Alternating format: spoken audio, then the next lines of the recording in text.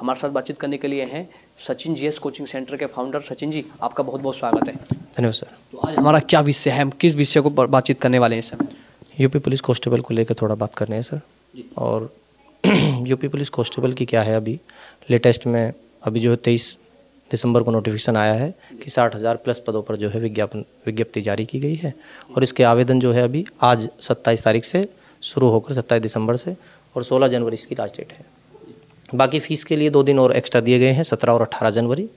और इसमें सभी बच्चों को क्या है डॉक्यूमेंटेशन के लिए ये है कि सभी के डॉक्यूमेंटेशन क्या रहेंगे उस पर भी उस पर भी हम बातचीत करेंगे लेकिन सबसे बड़ी जानकारी यही है कि 27 तारीख से यानी आज से आप अपने आप आवेदन कर सकते हैं। और 16 जनवरी इसकी आखिरी डेट है और दो दिन एक्स्ट्रा मिले आप अपनी फ़ीस को सबमिट कर सकते हैं। तो ये आपके लिए बहुत महत्वपूर्ण अपडेट है। दोनों इसको आप तुरंत अपने दोस्तों के साथ वीडियो को शेयर करें। अब आगे क्या क्या आपके पास क्या क्या एक विद्यार्थी के पास क्या क्या पास एक छात्र के पास क्या क्या डॉक्यूमेंट डॉक्यूमेंट्स होने चाहिए फॉर्म भरवाने के लिए?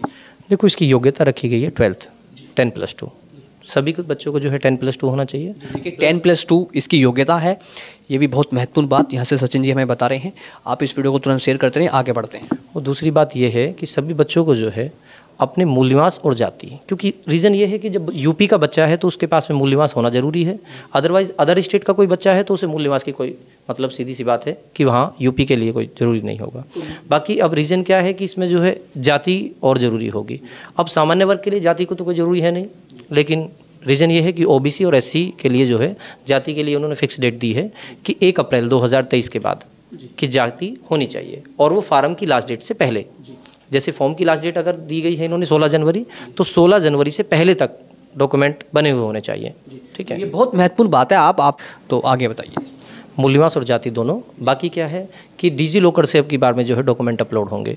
सभी डॉक्यूमेंट जो है ये, ये क्या होता है इसके बारे में थोड़ा व्यूवर्स को डिजी लॉकर क्या है कि मतलब जितने भी हमारे डॉक्यूमेंट्स होंगे वो आधार से लिंक होंगे और सभी आधार से लिंक होकर क्या है एक डिजी लॉकर पे क्या है वो सेव हो जाएँगे और वहाँ से आधार के अकॉर्डिंग वो डाटा उठकर आपका जो है फॉर्म भरा जाता है। जैसे स्कॉलरशिप के अकॉर्डिंग फॉर्म भरा जाता है यूपी में स्कॉलरशिप फॉर्म भरा जाता है बिल्कुल उसी आधार पर जो है अब की बार यूपी पुलिस कॉन्स्टेबल का फॉर्म भरा जाएगा। तो उसी प्रकार से डिजी लॉकर में होगा। और कोई और कोई महत्वपूर्ण डॉक्यूमेंट्स बस बाकी ये है मूल्यवास और जाति ज़रूरी है यूपी के लिए बाकी अब और कोई डॉक्यूमेंट्स की कोई आवश्यकता है नहीं। ठीक है? बाकी इसमें एज की अगर मैं बात करूँ तो एज में ये है कि 18 से 25 एज जो है, अब जनरल की कर दी गई है, क्योंकि यूपी पुलिस कांस्टेबल में क्या था 18 से 22 एज होती थी। अभी पीछे 2018 में भर्ती आई थी इकतालीस पाँच उसमें एज थी अट्ठारह से बाईस। लेकिन हुआ ये कि फिर बच्चों ने अभियान चलाया और उसमें मैंने खुद ने, अपने कोचिंग से यहाँ से बच्चों से जो है कर लेकर के अपने साथ रिट डाली थी। तो उसमें रिट में क्या है फिर जब जैसे ही भर्ती उनचास पाँच सौ अड़सठ आई तो उन्होंने एक साल बढ़ाकर एज दे दी। उसमें बढ़ाकर एज दी थी फिर हो गई थी अट्ठारह से तेईस साल। ठीक है? और अट्ठारह तेईस तेईस साल उनचास पाँच सौ अड़सठ में रही।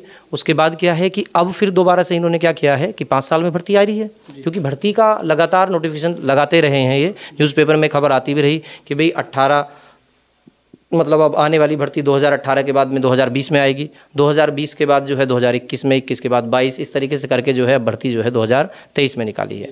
तो बच्चों की तो उसमें कोई गलती है नहीं कि भाई बच्चे जो है मोस्टली बात है कि भाई बच्चा तो ओवरेज होता जा रहा है। पर डे अगर एज बढ़ती जाएगी तो बच्चा तो ओवरेज होता जाएगा। तो इस कारण ही जो है अब क्या है इन्होंने एज में छूट नहीं दी। नोटिफिकेशन आया क्योंकि इससे पहले अभी क्या है खिलाड़ियों का कुछ कोटे की वैकेंसी आई थी उत्तर प्रदेश पुलिस में ही और उसमें उसके बाद में एसआई की भी आई हैं। तो उन्होंने खिलाड़ियों की वहाँ एज का क्या है क्राइटेरिया वो अट्ठारह से बाईस ही रखा। इसके बाद जो है एसआई का आया है खिलाड़ियों का तो उसमें क्या है उन्होंने इक्कीस से सत्ताईस रखी है एज जनरल कैटेगरी के। बाकी O B C S C पता है कि उसमें तो पाँच साल का रिलैक्सेशन होता ही है।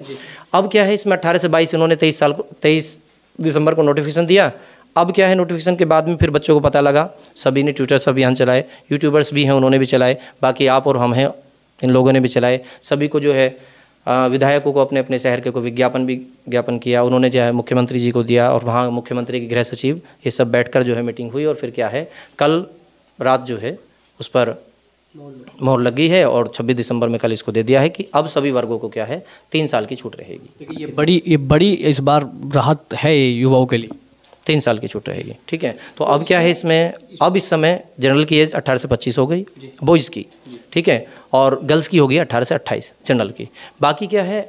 जो ओबीसी का कैंडिडेट है वो रह जाएगा अब इसमें अट्ठारह से तीस बॉयज़ और अट्ठारह से तैंतीस एस और एसटी की गर्ल्स हो जाएँगी या और आपके ओबीसी की गर्ल्स देखिए ये बहुत महत्वपूर्ण जानकारी इस समय आप लोगों तक पहुंचाई जा रही है आप इसको तुरंत ज़्यादा से ज़्यादा शेयर कीजिए। हमारा मकसद ये है जो इस समय यूपी कांस्टेबल की जो तैयारी कर रहे हैं यूपी पुलिस कांस्टेबल की उनके पास सही जानकारी का अभाव है मैं जो देख रहा हूँ इस समय तो उनके पास सबसे सटीक जानकारी इस समय आधार टीम आपके आप अपने माध्यम से हम पहुँचा रहे हैं। आप इसको तुरंत शेयर कीजिए। इसकी फ़ीस क्या है? आप किसी भी नज़दीकी कैफ़े पर जाइए वहाँ पर अपना फॉर्म फिल कराइए। इसकी फ़ीस क्या रखी है? इसकी चार सौ रुपये रखी गई सर। इसकी फ़ीस चार सौ रुपये है। आप जाइए और अधाना के लिए चार सौ रुपये फ़ीस है। सभी वर्ग के जो बच्चे वर्गों के लिए चार सौ रुपये फ़ीस है। आप किसी भी नज़दीकी कैफ़े पर जाइए अपना फॉर्म फिल कराइए। अधाना टीवी न्यूज़ आप सभी के उज्जवल भविष्य की कामना करता है। वीडियो जर्नलिस्ट अर्पित के साथ मैं हूँ भारत अधाना अधाना टीवी न्यूज़।